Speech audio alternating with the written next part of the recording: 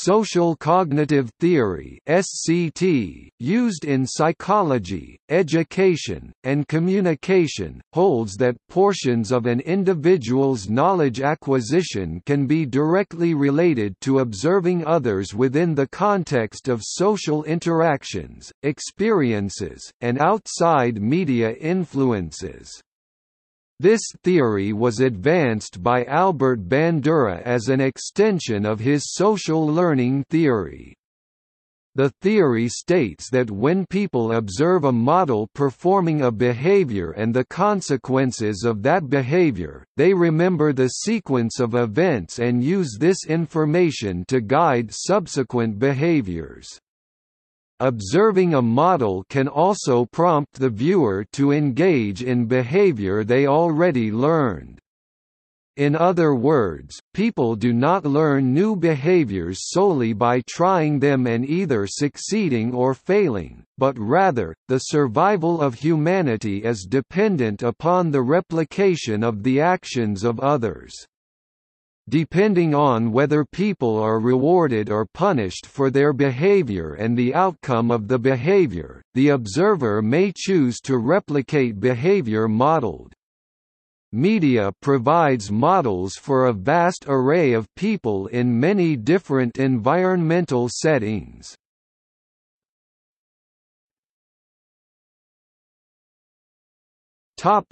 History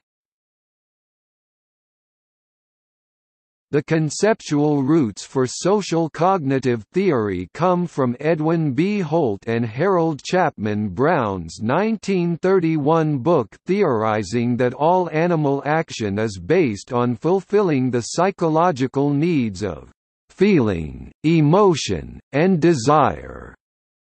The most notable component of this theory is that it predicted a person cannot learn to imitate until they are imitated. In 1941, Neal E. Miller and John Dollard presented their book with a revision of Holt's social learning and imitation theory. They argued four factors contribute to learning, drives, cues, responses, and rewards.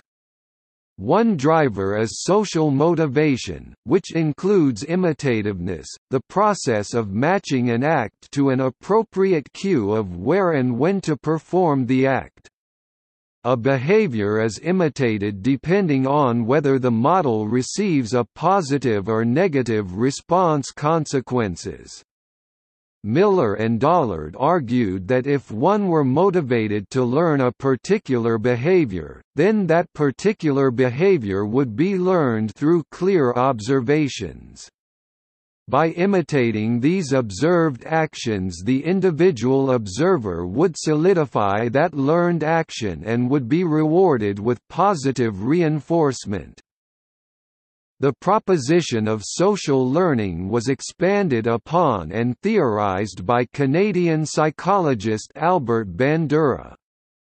Bandura, along with his students and colleagues conducted a series of studies, known as the Bobo doll experiment, in 1961 and 1963 to find out why and when children display aggressive behaviors. These studies demonstrated the value of modeling for acquiring novel behaviors. These studies helped Bandura publish his seminal article and book in 1977 that expanded on the idea of how behavior is acquired, and thus built from Miller and Dollard's research.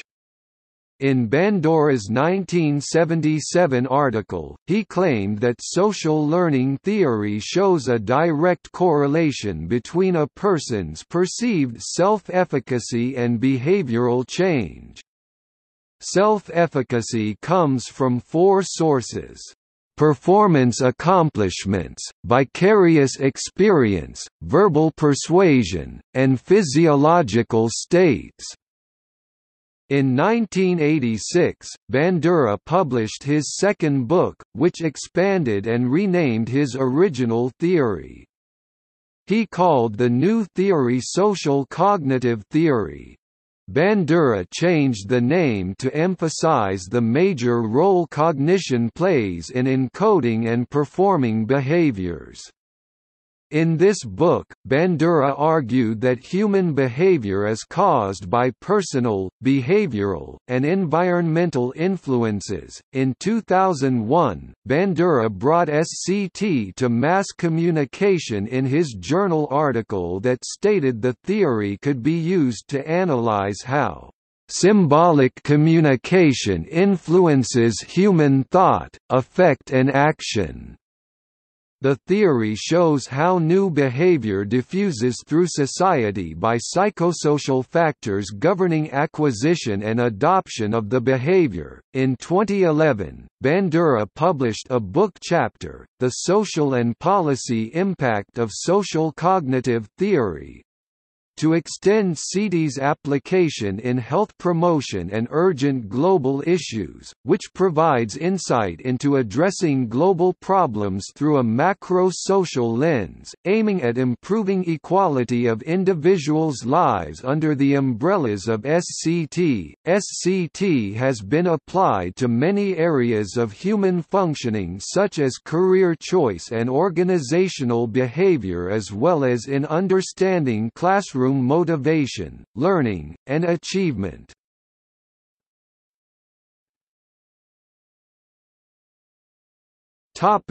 Current status. Social cognitive theory originated in psychology, but based on an unofficial November 2013 Google Scholar search, only 2% of articles published on SCT are in the pure psychology field. About 20% of articles are from education and 16% from business. The majority of publications using SCT, 56%, come from the field of applied health psychology. The majority of current research in health psychology focuses on testing SCT in behavioral change campaigns as opposed to expanding on the theory. Campaign topics include, increasing fruit and vegetable intake, increasing physical activity, HIV education, and breastfeeding. Born in 1925, Bandura is still influencing the world with expansions of SCT. His recent work, published May 2011, focuses on how SCT impacts areas of both health and population in relation to climate change.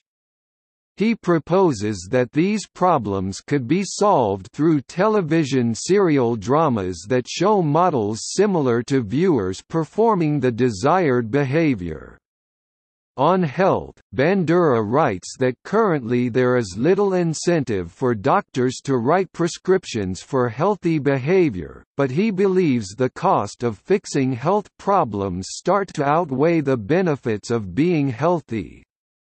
Bandura argues that we are on the cusp of moving from a disease model focusing on people with problems to a health model focusing on people being healthy and SCT is the theory that should be used to further a healthy society.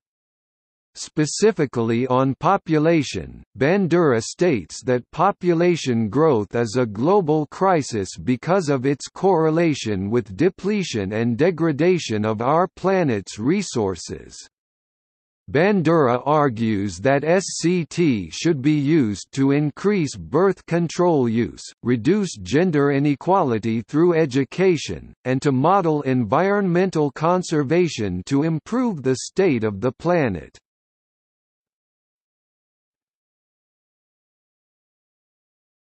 Topic Overview Social cognitive theory is a learning theory based on the idea that people learn by observing others. These learned behaviors can be central to one's personality. While social psychologists agree that the environment one grows up in contributes to behavior, the individual person and therefore cognition is just as important. People learn by observing others, with the environment, behavior, and cognition acting as primary factors that influence development in a reciprocal triadic relationship.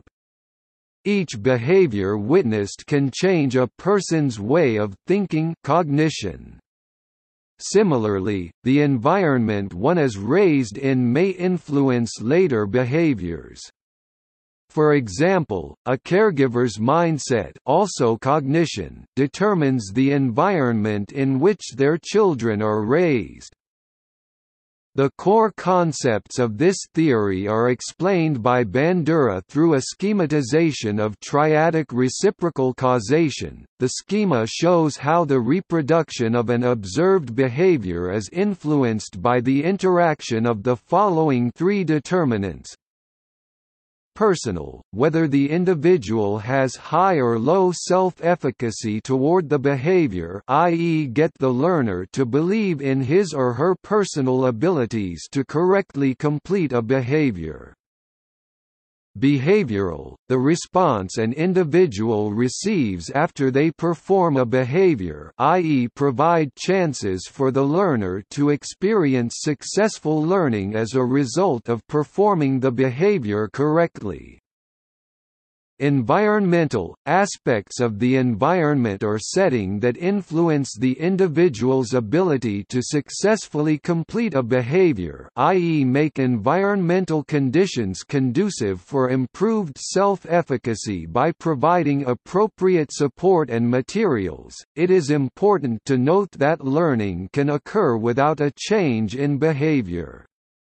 According to J.E. Ormrod's general principles of social learning, while a visible change in behavior is the most common proof of learning, it is not absolutely necessary. Social learning theorists believe that because people can learn through observation alone, their learning may not necessarily be shown in their performance. These are interdependent on each other and its influence can be directly linked with individual or group psychological behavior. According to Alex Stajkovic and Fred Luthans it is critically important to recognize that the relative influences exerted by one, two, or three interacting factors on motivated behavior will vary depending on different activities, different individuals and different circumstances.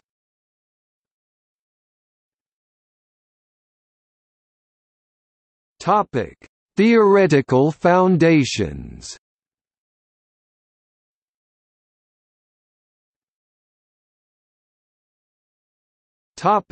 Human agency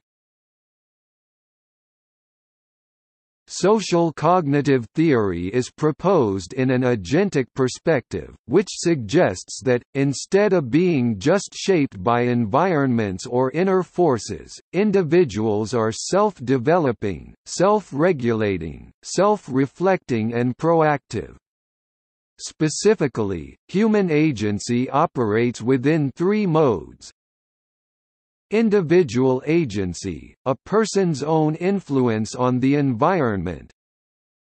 Proxy agency, another person's effort on securing the individual's interests. Collective agency, a group of people work together to achieve the common benefits. Human agency has four core properties, Intentionality – individuals' active decision on engaging in certain activities. Forethought – individuals' ability to anticipate the outcome of certain actions. Self-reactiveness – individuals' ability to construct and regulate appropriate behaviors Self-reflectiveness, individuals' ability to reflect and evaluate the soundness of their cognitions and behaviors.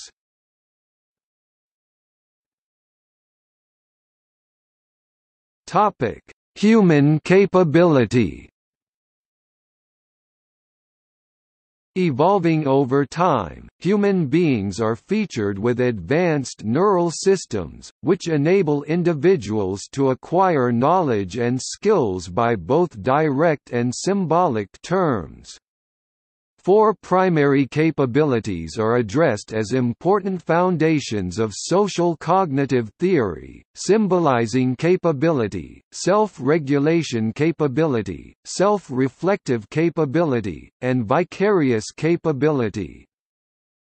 Symbolizing capability, people are affected not only by direct experience but also indirect events.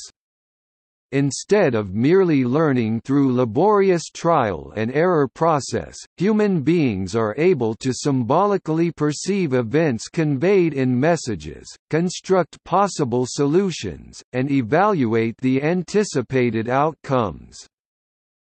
Self-regulation capability – Individuals can regulate their own intentions and behaviors by themselves. Self-regulation lies on both negative and positive feedback systems, in which discrepancy reduction and discrepancy production are involved.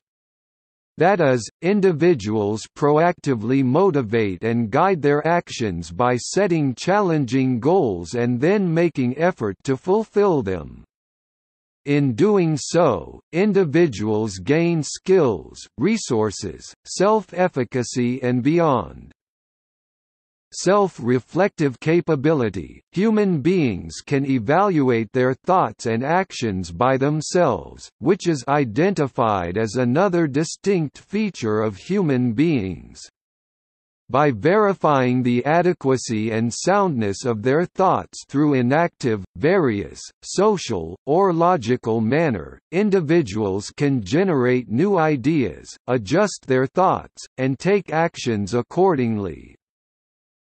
Vicarious capability – One critical ability human being featured is to adopt skills and knowledge from information communicated through a wide array of mediums. By vicariously observing others' actions and its consequences, individuals can gain insights into their own activities. Vicarious capability is of great value to human beings' cognitive development in nowadays, in which most of our information encountered in our lives derives from the mass media than trial and error process.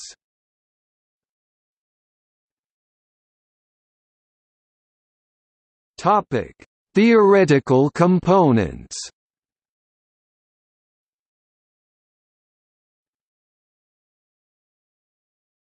Topic: Modeling.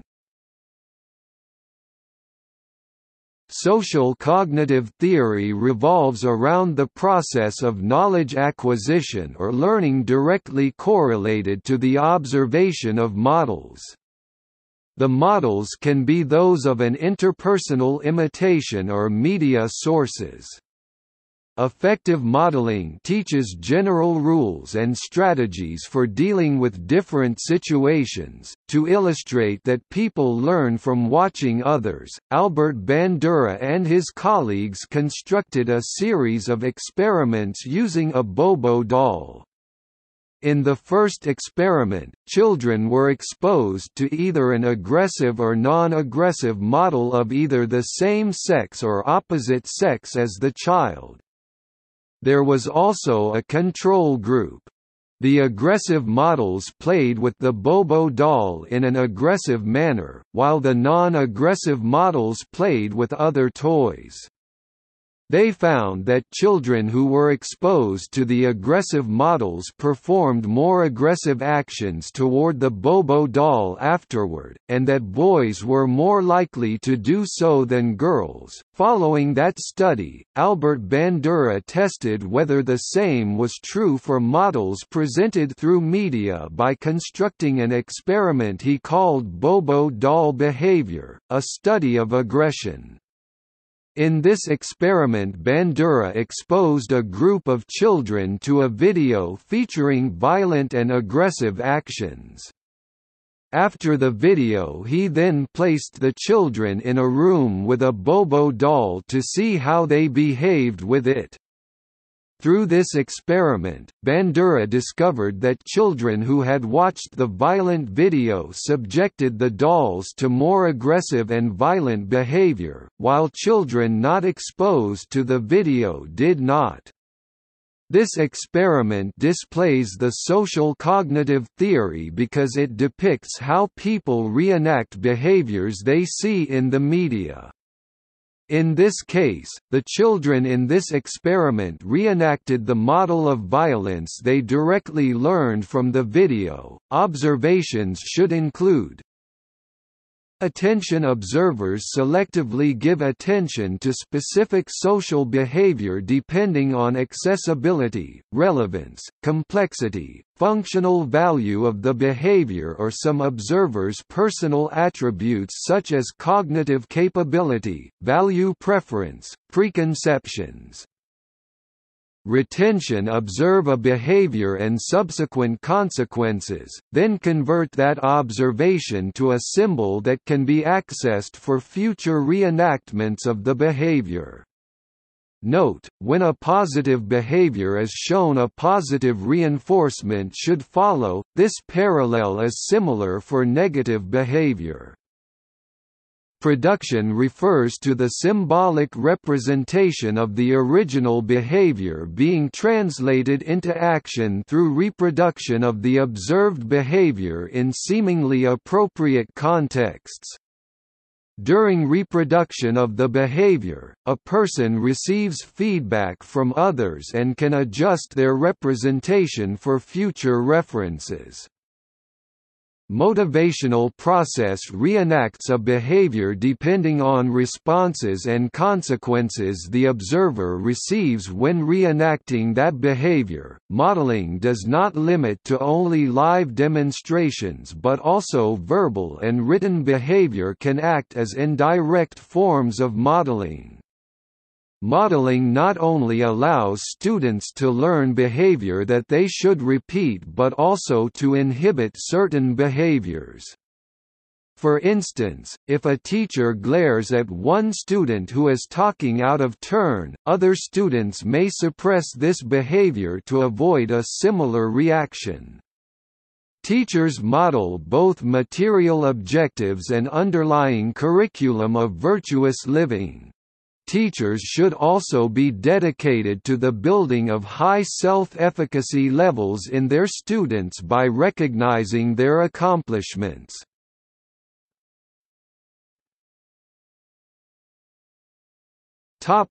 Outcome expectancies To learn a particular behavior, people must understand what the potential outcome is if they repeat that behavior.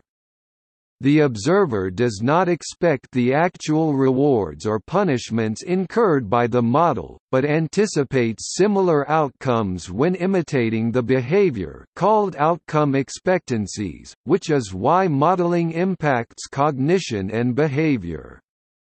These expectancies are heavily influenced by the environment that the observer grows up in, for example, the expected consequences for a DUI in the United States of America are a fine, with possible jail time, whereas the same charge in another country might lead to the infliction of the death penalty. For example, in the case of a student, the instructions the teacher provides help students see what outcome a particular behavior leads to. It is the duty of the teacher to teach a student that when a behavior is successfully learned, the outcomes are meaningful and valuable to the students.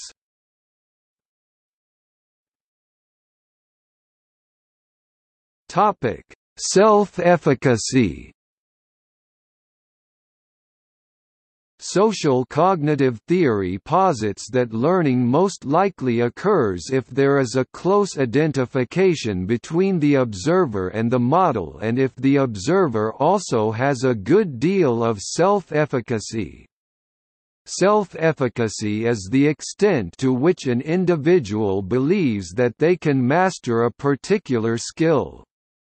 Self-efficacy beliefs function as an important set of proximal determinants of human motivation, affect, and action, which operate on action through motivational, cognitive, and affective intervening processes. According to Bandura, self-efficacy is the belief in one's capabilities to organize and execute the courses of action required to manage prospective situations. Bandura and other researchers have found an individual's self-efficacy plays a major role in how goals, tasks, and challenges are approached. Individuals with high self-efficacy are more likely to believe they can master challenging problems and they can recover quickly from setbacks and disappointments. Individuals with low self-efficacy tend to be less confident and don't believe they can perform well, which leads them to avoid challenging tasks. Therefore, self-efficacy plays a central role in behavior performance. Observers who have high level of self-efficacy are more likely to adopt observational learning behaviors. Self-efficacy can be developed or increased by Mastery experience, which is a process that helps an individual achieve simple tasks that lead to more complex objectives. Social modeling provides an identifiable model that shows the processes that accomplish a behavior. Improving physical and emotional states refers to ensuring a person is rested and relaxed prior to attempting a new behavior. The less relaxed, the less patient, the more likely they won't attain the goal behavior. Verbal persuasion is providing encouragement for a person to complete a task or achieve a certain behavior. For example, students become more effortful, active, pay attention, highly motivated and better learners when they perceive that they have mastered a particular task. It is the duty of the teacher to allow student to perceive in their efficacy by providing feedback to understand their level of proficiency. Teachers should ensure that the students have the knowledge and strategies they need to complete the tasks. Self-efficacy has also been used to predict behavior in various health-related situations such as weight loss, quitting smoking, and recovery from heart attack. In relation to exercise science, self-efficacy has produced some of the most consistent results revealing an increase in participation in exercise.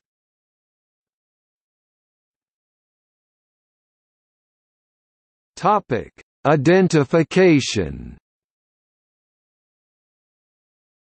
Identification allows the observer to feel a one-to-one -one similarity with the model, and can thus lead to a higher chance of the observer following through with the modeled action. People are more likely to follow behaviors modeled by someone with whom they can identify with. The more commonalities or emotional attachments perceived between the observer and the model, the more likely the observer learns and reenact the modeled behavior.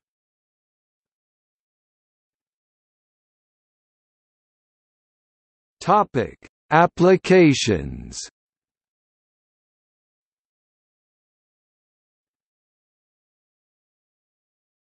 Topic: Mass communication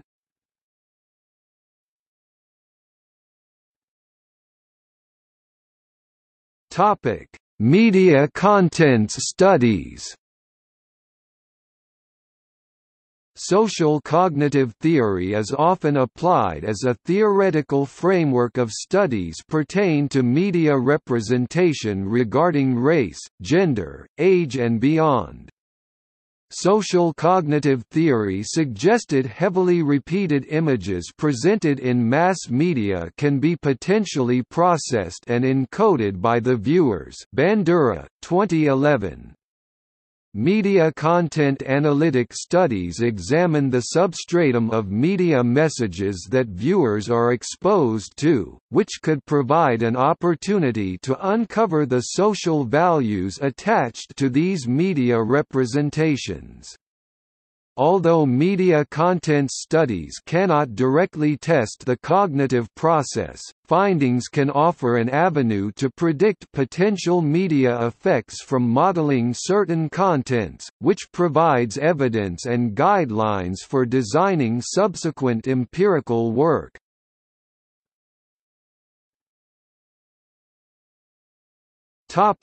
Media effects studies Social cognitive theory is pervasively employed in studies examining attitude or behavior changes triggered by the mass media. As Bandura suggested, people can learn how to perform behaviors through media modeling. SCT has been widely applied in media studies pertain to sports, health, education and beyond. For instance, Hardin and Greer in 2009 examined the gender typing of sports within the theoretical framework of social cognitive theory, suggesting that sports media consumption and gender role socialization significantly related with gender perception of sports in American college students. In health communication, social cognitive theory has been applied in research related to smoking quit, HIV prevention, safe sex behaviors, and so on. For example, Martino, Collins, Kanouse, Elliott, and Berry in 2005 examined the relationship between the exposure to television's sexual content and adolescents' sexual behavior through the lens of social cognitive theory, confirming the significant relationship between the two variables among white and African American groups. However, no significant correlation was found between the two variables in the ethnic group of Hispanics, indicating that peer norm could possibly serve as a mediator of the two examined variables.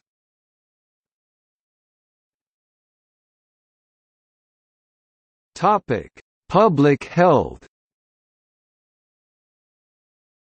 Miller's 2005 study found that choosing the proper gender, age, and ethnicity for models ensured the success of an AIDS campaign to inner-city teenagers. This occurred because participants could identify with a recognizable peer, have a greater sense of self-efficacy, and then imitate the actions to learn the proper preventions and actions. A study by Azza Ahmed in 2009 looked to see if there would be an increase in breastfeeding by mothers of preterm infants when exposed to a breastfeeding educational program guided by SCT. 60 mothers were randomly assigned to either participate in the program or they were given routine care. The program consisted of SCT strategies that touched on all three SCT determinants, personal, showing models performing breastfeeding correctly to improve self-efficacy, behavioral weekly check-ins for three months reinforced participants' skills, environmental, mothers were given an observational checklist to make sure they successfully completed the behavior.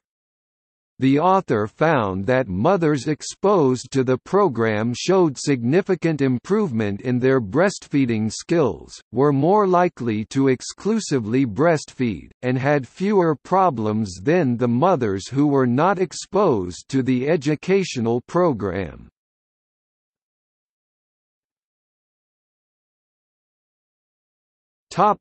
Morality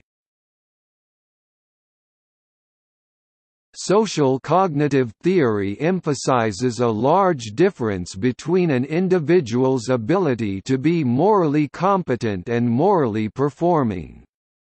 Moral competence involves having the ability to perform a moral behavior, whereas moral performance indicates actually following one's idea of moral behavior in a specific situation.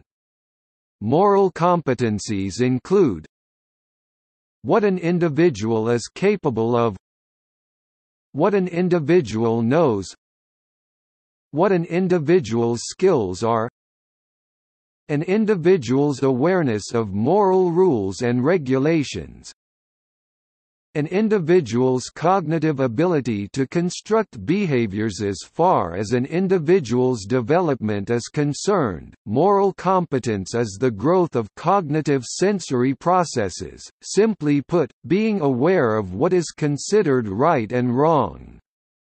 By comparison, moral performance is influenced by the possible rewards and incentives to act a certain way. For example, a person's moral competence might tell them that stealing is wrong and frowned upon by society, however, if the reward for stealing is a substantial sum, their moral performance might indicate a different line of thought. Therein lies the core of social cognitive theory. For the most part, social cognitive theory remains the same for various cultures. Since the concepts of moral behavior did not vary much between cultures as crimes like murder, theft, and unwarranted violence are illegal in virtually every society, there is not much room for people to have different views on what is morally right or wrong. The main reason that social cognitive theory applies to all nations is because it does not say what is moral and immoral, it simply states that we can acknowledge these two concepts.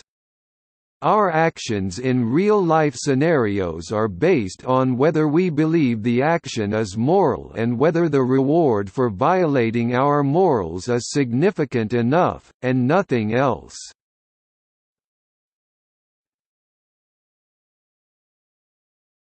Topic: Limitations.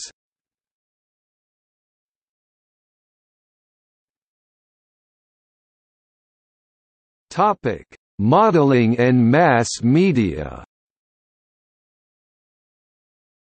In-series TV programming, according to social cognitive theory, the awarded behaviors of liked characters are supposed to be followed by viewers, while punished behaviors are supposed to be avoided by media consumers.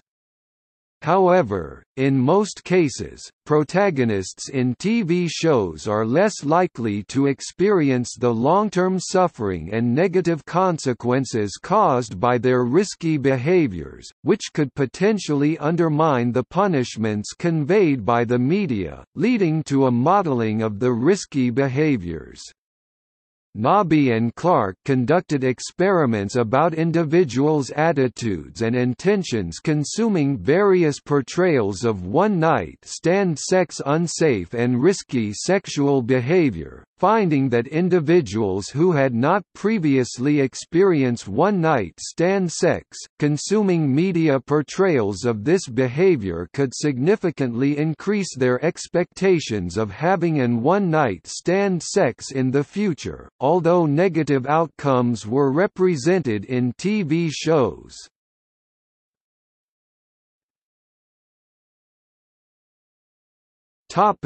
See also Social cognition